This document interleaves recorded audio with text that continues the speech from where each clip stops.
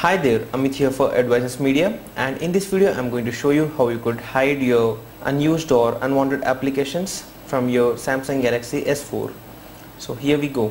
Under the applications area you would find a list of all the applications which you have downloaded and installed on your smartphone and sometimes you may not like to display all these applications which you're not going to frequently use. So in this video I'm going to show you how you could hide them so this is the option which is available. Pre-installed onto this device and for which you need to just tap onto the menu key when you are in the applications area.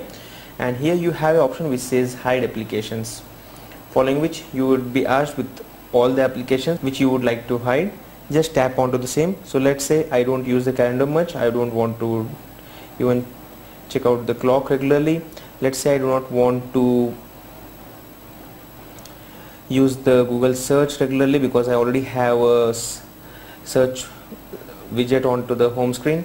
And apart from that let's say if you do not want the Google Plus application you can just select all these applications and then tap on done. Once you do that the applications would be hidden from this place and they won't be visible anymore. Now in case you would like to get those back you just have to tap on the same menu key again tap on show hidden applications and then you can find all the list of applications which you have hidden earlier and you can just get them back onto your applications area. So I just did the same for the Twitter application and it's back. So this is how you can hide and unhide applications on the Samsung Galaxy S4 stay tuned on our channel for more related videos. Thank you.